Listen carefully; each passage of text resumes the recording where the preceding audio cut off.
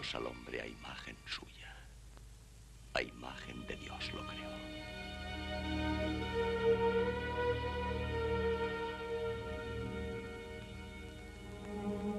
Y los creó varón y hembra.